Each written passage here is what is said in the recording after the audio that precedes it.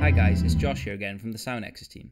Today I'm going to be showing you how to create the two most important tracks in Logic Pro, which are the instrument tracks and the audio tracks. So let's get into it. To create any track in Logic Pro is so simple. To get started, go to Track, New Track, and here you can create either an audio track or an instrument track. There are two ways to create your tracks as well. By clicking on this plus button here, you can create more tracks. Also, if you click here next to the plus button, you can duplicate the current highlighted track. A simpler way to duplicate the track is to hold Alt and click on one of your current tracks.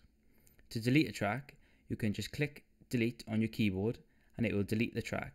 Make sure you have the correct track highlighted before deleting it. And if you want to bring that track back, you can press Command plus Z on your keyboard and it should bring that track back. Join me next time when I will be going into more depth about the instrument track. See you next time, the Sound Nexus.